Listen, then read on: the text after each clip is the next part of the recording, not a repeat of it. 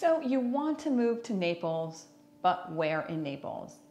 Now, I work with a lot of buyers who are out of town and they're starting their online search and they're going to Zillow and they're going to realtor.com and they find a property that they like, but they have a lot of questions about what it's like to live here in Naples, what that particular neighborhood or uh, community is like, and they reach out to me and to ask me questions about those different neighborhoods because moving here to Naples, Florida can be confusing. So in this video, I'm gonna try and give you a little bit better idea of how Naples and Collier County is laid out from the west side of Collier County and the beaches all the way to the east side of Naples and Collier County uh, with the bigger developments and the golf communities.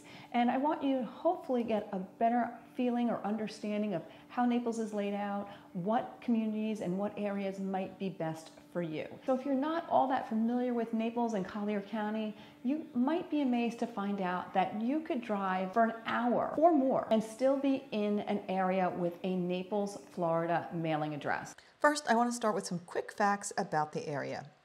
The city of Naples only occupies 16 square miles of the over 2,300 square miles that make up Collier County. And the city of Naples is one of three towns or cities, and I use the word city loosely, in Collier County. The other two recognized cities are Everglades City and Marco Island. The rest of Collier County is unincorporated and is generally referred to as Naples. So like I said in the beginning of the video, buying a property can be confusing since we say Naples, but we are usually talking about Collier County. So let's take a look at Collier County which I'm going to refer to as Naples in this video, um, and we're going to look area by area. So while there may not be towns or cities, there are large gated communities. And we talk about specific communities as if they were towns. And we also use roadways to outline different areas of Naples. So let's start at the beach and work our way east. So when we talk about the beach area, we are referring to the area west of 41, which we also call Tamiami Trail. So Tamiami Trail runs parallel to the Gulf of Mexico. It was built to join Tampa and Miami, so hence the name Tamiami Trail. Living in the beach area means you are close to everything Naples and Collier County has to offer. Not only are you close to the beach, you're also close to shopping, dining, and cultural spots like the Artis Naples. And of course, living here comes at a price. Located in this area are some of the most expensive properties and these properties hold their value. So some of the communities that you'll find in this area include, of course, the city of Naples, Royal Harbor, Port Royal, Aqualane Shores, The Moorings, Coquina Sands, Park Shore, and Pelican Bay, to name a few. Of course, if you can't swing being a WOFO, and that means living west of 41, the next best area would be living west of Goodlette Frank Road. Of course, there's many neighborhoods west of Goodlette Frank, but I'm just going to highlight two of them real quick. First is located downtown and it's still close to the beach. It's Lake Park. And Lake Park is one of the most desired neighborhoods in the area. It's home to Fleischmann Park and you can also walk to the Naples Zoo. So next is Pine Ridge. Pine Ridge is another neighborhood west of Goodlette Frank and it's highly sought after. It's got large houses on large lots. In fact, most lots are over an acre of land, and that's hard to find this close to the beach. And portions of Pine Ridge are zoned agricultural, so you can have your horse in your backyard if you wanted. So moving a bit east, we come across Airport Road. Now the area between Goodlette Frank and Airport has a lot to offer. It's still within a 10 minute car ride to the beach, and this area is home to many gated and non-gated communities. Now the Orange Blossom Corridor is a prime example of this area. Here you're going to find communities with mature landscaping, they're close to the library, shopping, and close to uh, Mercado, which is an upscale shopping, dining area, and it has a Whole Foods there as well. So the next main road or dividing line is I-75. Now it used to be if you were east of I-75, there was nothing but farmland.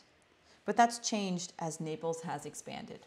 So between Airport Road and I-75, you're going to find more communities with golf courses and resort type amenities.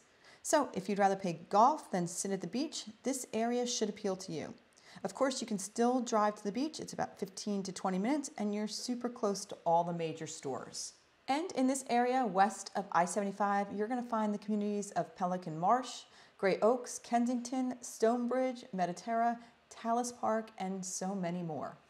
And still within a 20 to 30 minute drive, and just east of I 75, you're going to find the communities of the Vineyards, Island Walk, the Esplanade, Quail Creek, Longshore Lakes, again, just to name a few.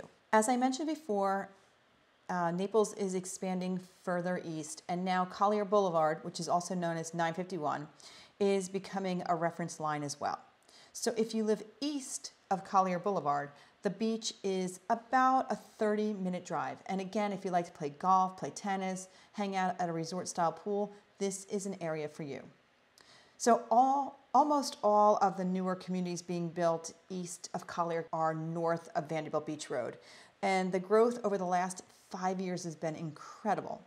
Some of the larger communities in this area are the Quarry, Heritage Bay, Twin Eagles, and again, so many more. And even farther east, uh, about 20 miles east of I 75 and about a 50 minute drive from the Gulf of Mexico is Ave Maria.